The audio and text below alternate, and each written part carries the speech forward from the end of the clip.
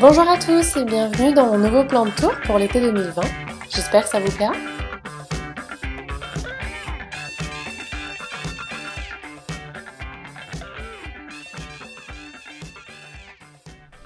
Donc on commence avec ce petit coin du salon, donc sur la table à manger, où j'essaie régulièrement d'enlever des plantes, mais je colonise euh, assez souvent. On a euh, ma jolie euh, Monstera variegata que m'a envoyée Isabelle, qui me fait même une nouvelle pousse. Mon philodendron Birkin, que j'ai eu récemment, donc je l'ai acheté sur la boutique de Bulbe Bizarre. Mon philodendron verrucosum, et puis là j'ai mis euh, ben, certains de mes syngoniums. Donc j'ai une vidéo dédiée, euh, dédiée à ça. Donc il se place plutôt bien ici. Au pied, euh, on a mon philodendron astatum. Il a souffert un petit peu parce que j'ai eu des trips récemment, donc j'ai dû le traiter. Mon alocasia poli, qui me fait d'ailleurs une nouvelle feuille avec son joli panier. Et puis ensuite, on passe à mes grands arbres. Donc mon Ficus Elastica Robusta qui, est énorme, moi je l'ai acheté, il était petit comme ça euh, il y a un an et demi. Lui il aime vraiment bien euh, la lumière du matin, euh, ça lui est extrêmement bénéfique. Et les douchages donc avec des arrosages, bon ça je vous en ai plus parlé en vidéo mais des arrosages bien homogènes, un peu plus espacés. Mon Bachira aquatica qui en ce moment me fait un peu des petites feuilles jaunes donc je pense qu'il y a un souci d'arrosage. Je lui mettrais bien un Oya, je sais pas si vous l'avez fait dans votre Bachira, dites-moi. Ensuite, on passe à mon petit escabeau. Alors sur ce petit meuble que j'avais acheté en brocante et que j'avais tout repeint, j'ai placé des plantes voilà, qui ont besoin euh, pas mal de lumière. Donc soit des bébés plantes que j'essaie de faire bouturer, soit euh, voilà, d'autres plantes. Donc là j'ai mon Peperomia angulata, celui-là, avec euh, des petites fleurs. Mon philodendron lemon lime que je viens de recevoir, c'est Ava Plante qui me l'a envoyé. J'ai mis dans un joli petit pot que j'aime beaucoup des sœurs graines. Je vous ai fait un pot tour du coup sur la chaîne. Ici, j'ai mis mon bébé Enjoy que j'ai fait cet hiver. Un petit bégonia, ça c'est un petit nouveau qui vient de la boutique Le Végétal. Alors on n'était pas sûr du nom, mais je crois qu'il vient de Madagascar. Un potos que je bouture en ce moment euh, pour ma soeur. Une petite succulente derrière. Et en dessous, ma Stingray, des boutures que je fais, une bouture de tétrasperma. Un mini, euh, je sais jamais si c'est un Dracaena ça. Je me souviens plus, vous me direz. Et puis une petite petit plan de grâce qui est en train de décéder là.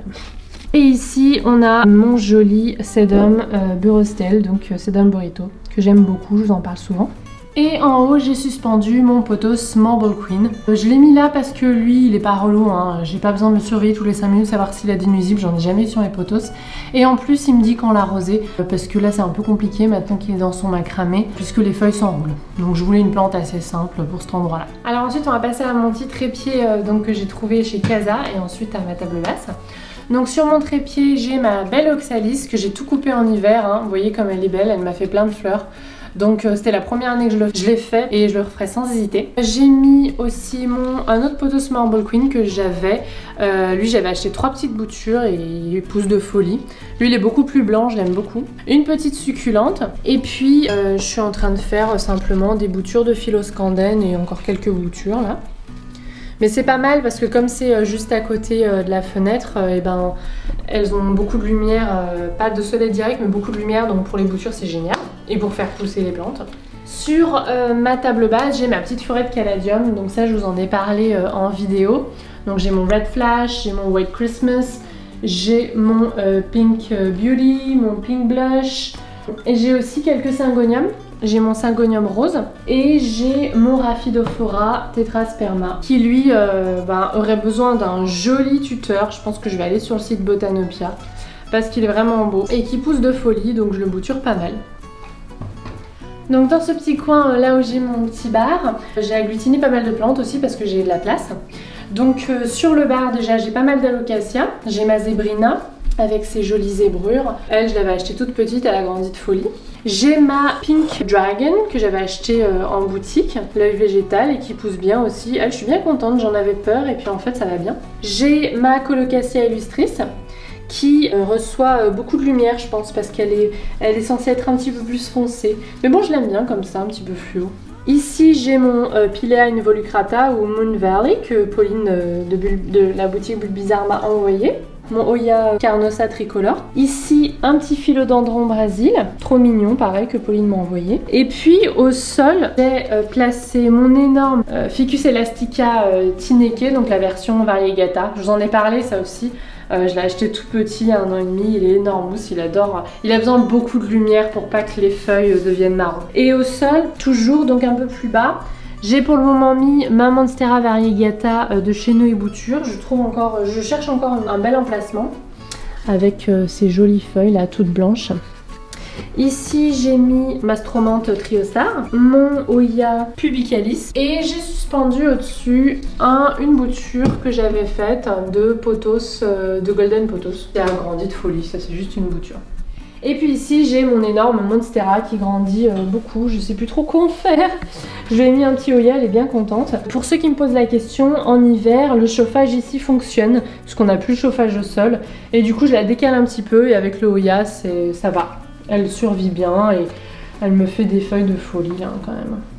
Elle me fait aussi des petits pousses là, au pied de la plante.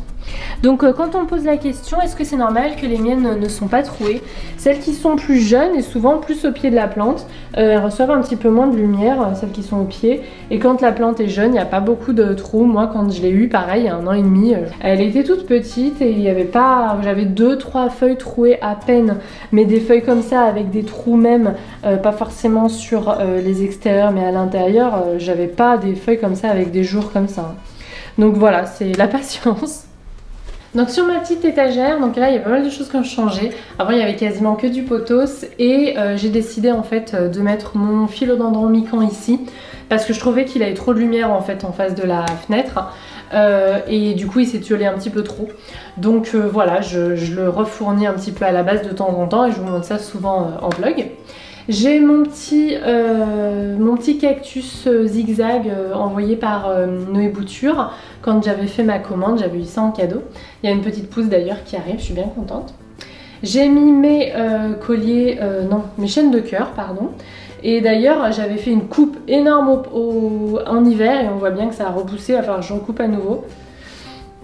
mon potos Manjula qui commence enfin à cascader.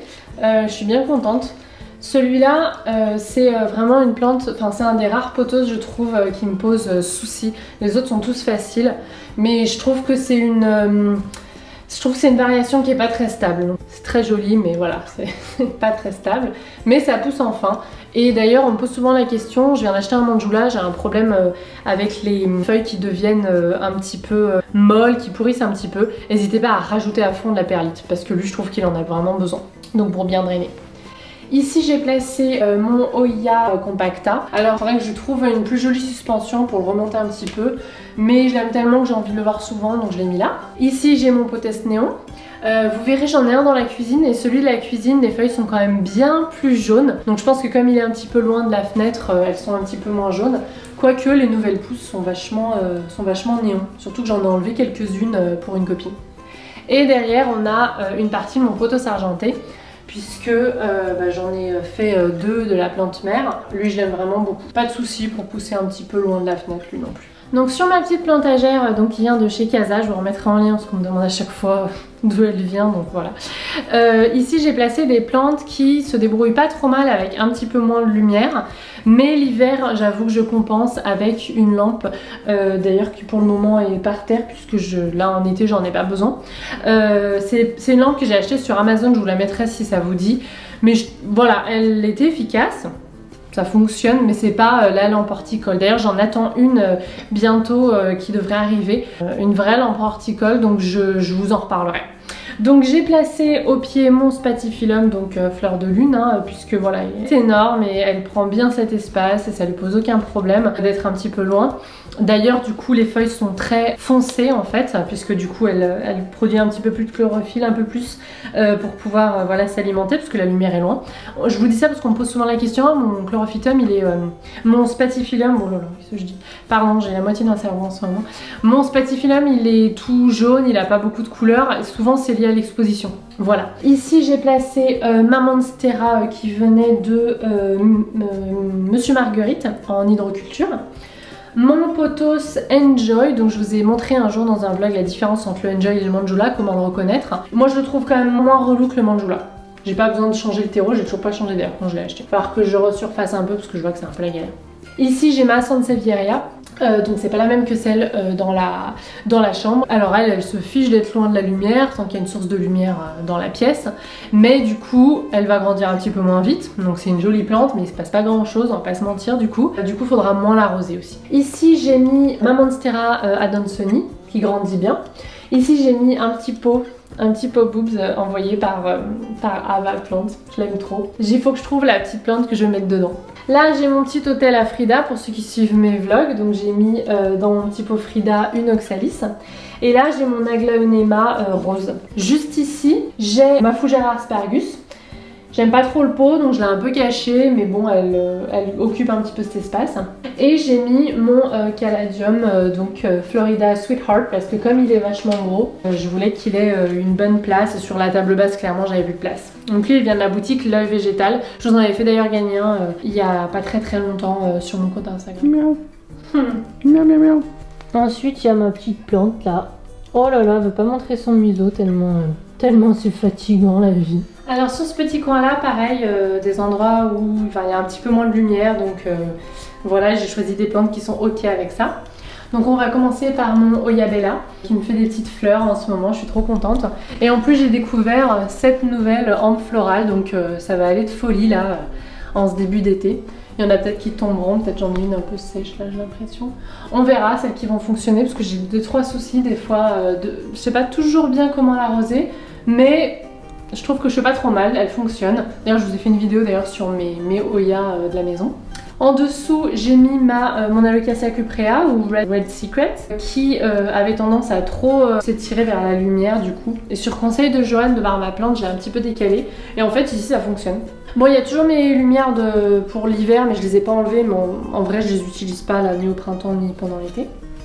Ici, j'ai mis mon petit, un de mes petits syngoniums un philomican euh, donc, euh, que Pauline euh, m'a offert aussi, mon anthurium, clarinervium, un petit croton, et puis en bas j'ai mis mes calathea, enfin ce qui me reste de calathea, puisque ça a été un petit peu l'hécatombe. le ornata il va très mal, on voit ici. Pourtant ils sont près de l'humidificateur. Ici, j'ai le euh, Network, ou appelé aussi Musaïka. Et lui, je crois que c'est le Rosa Pixa. J'ai ouais, encore mangé le nom. Désolée. J'étais un petit peu plus efficace dans les anciens plantos. Et ici, euh, mon euh, deuxième, donc poteau argenté. Enfin, la deuxième pièce de ma plante mère que j'ai divisée. Et que j'aime toujours autant d'amour, hein, de toute façon. voilà. C'est un... on me demande souvent si c'est un Silvaran ou un Exotica. Si on regarde bien, il y a des endroits où on dirait du euh, Pictus euh, origine russe, je sais plus quoi. Des endroits où on dirait du Silveran, des endroits où on dirait de l'Exotica. Je vais pas vous mentir, moi je crois que c'est surtout un argument marketing. Et que suivant l'exposition, et eh ben voilà. Désolée, je casse un peu le mythe euh, de la plante addict, mais voilà. Ça c'est mon petit avis que j'ai là-dessus que je vous dévoile aujourd'hui. On passe ensuite aux plantes qui se situent euh, dans la chambre. Sur ce petit coin là, je vous avais déjà montré mon petit potos Marble Queen que j'avais mis en suspension. Je vous en ai parlé euh, en vidéo. Le poteau c'est vraiment ce genre de plante tellement facile euh, que si vous avez une suspension comme ça qui est pas percée, c'est pas génial, là c'est de la porcelaine, ça fonctionnera toujours. La preuve, elle a grandi de folie et euh, j'arrose vraiment. Euh, bah là, c'est bien sec, on voit, parce que les, feuilles commencent à se courber. Et je vais commencer à arroser un petit peu. Mais j'y vais pas non plus de folie parce que voilà, on veut pas que ça fasse pourrir les racines. Mais je vois pas vraiment 100 euh, 000 autres plantes qui pourraient supporter ce genre d'installation. Donc là, bon bah sur notre petit coin, du coup pour le moment, table à langer, puisqu'on sait pas encore si on va pouvoir déménager. J'ai mon Ashkenanthus et j'ai aussi mon joli philodendron scandène qui grandit de folie lui aussi. Euh, ouais, je suis, bien contente. Pour ce petit coin, euh, j'ai placé mes deux ficus lirata que j'aime beaucoup. Ils ont besoin de pas mal de lumière et là clairement ils ont la lumière du matin jusqu'à 2h donc c'est super. Euh, j'ai placé aussi mon ficus elastica, donc la version variegata Tineke qui regrandit de folie. Je vous ai montré euh, comment réveiller les nœuds en fait euh, d'une plante comme ça qui a été abîmée, soit moi quand je l'ai achetée elle était dans un état désastreux, soit peut-être à cause d'un problème de luminosité, là clairement on voit que le pied a moins de lumière que le reste. Et eh ben je vous ai montré ça, c'est dans la partie astuces dans mes stories à la une sur Instagram. Ensuite j'ai suspendu mon nouvel Ashkenanthus donc à variation, ma petite merveille que j'ai trouvée il n'y a pas très longtemps chez le fleuriste juste en bas de chez moi. Je vous en ai parlé dans un vlog, je, suis, je l'aime beaucoup. Et au pied de ma petite installation, du coup, parce que j'ai tout mis euh, vers la fenêtre, je voulais pas non plus euh, trop encombrer la chambre. J'ai mon aloe, j'ai un de mes spatifilium, hein, très facile. J'ai ma petite nanook, ma petite Tradescantia euh, nanook. Et puis une bouture de potos que j'ai fait il y a pas très longtemps.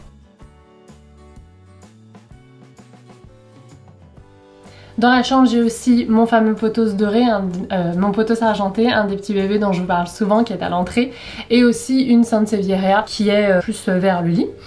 Mais une dernière chose que je voulais dire, parce qu'on me pose souvent la question des plantes dans la chambre, et à chaque fois que je fais un plan de tour dans ma chambre, je le redis. Sachez qu'il existe non seulement des plantes dépolluantes, mais euh, qu'il n'y a pas un danger réel d'avoir quelques plantes dans sa chambre en fait. Parce qu'on me pose souvent la question en ce qui concerne les, euh, voilà, le rejet de CO2 durant la nuit, puisque même si elles créent de l'oxygène durant la journée, elles, en, elles rejettent du CO2 la nuit, puisqu'il n'y a plus de lumière. En fait, euh, je, vous le dis souvent, si vous aérez votre chambre, il n'y a aucun souci, puisque de toute façon, je vous conseille d'aérer votre chambre parce que vous-même ou même votre animal, juste là, il rejette plus de CO2 que toutes mes plantes comprises euh, durant la nuit. Donc euh, je vous encourage, voilà, ou votre conjoint, ou votre conjointe, eh bien à aérer la pièce de toute façon tous les matins. Mais ça, c'est pas à cause des plantes, hein. ça c'est à cause de, vous et du fait que vous dormiez là-dedans. Et puis en plus, moi personnellement, je suis beaucoup allergique à plein de choses, y compris les acariens, donc clairement, c'est un truc que je fais assez régulièrement. maintenant, on va dans la cuisine. Alors la cuisine, je vous la montre pas souvent.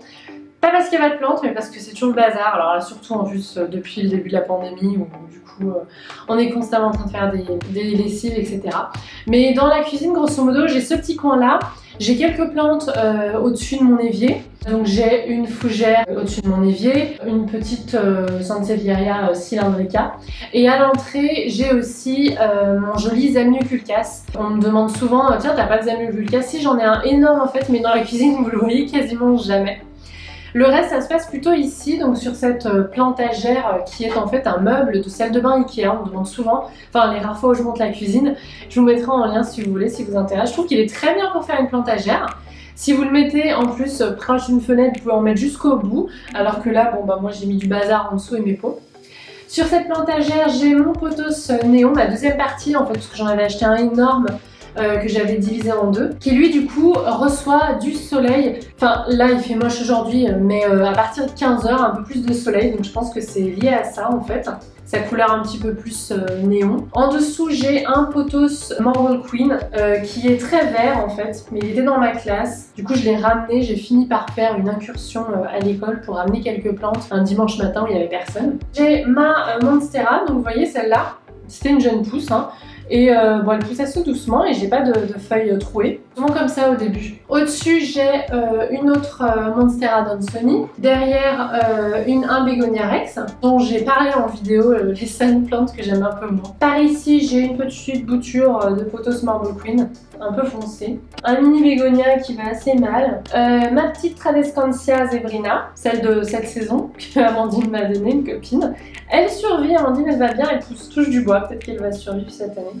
Un euh, lemon lime qui va assez mal, je pourquoi je le garde, surtout que Ava de Ava Plante m'en a donné un autre, mais bon, voilà. Ici j'ai le Pilea de ma classe que j'ai pu récupérer, donc il n'est pas mort. Donc je vous parlais souvent de lui euh, en mode RIP. Euh, mon gardien, du coup, je, lui, avais demandé de mettre toutes mes, toutes mes plantes dans la bowl et de quand il voulait. Et elle, clairement, elle se fiche un peu de la fréquence, donc j'ai plein de bébés. Et du coup, à côté, bah, j'ai mon Pilea, mon nouveau Pilea que j'ai acheté chez Plante Addict il n'y a pas très longtemps. Mais bon, j'aime tellement cette et que je suis contente de l'avoir parce que surtout j'en avais qu'une à l'école pendant un moment et zéro à la maison parce qu'elle se place pas toujours bien ici.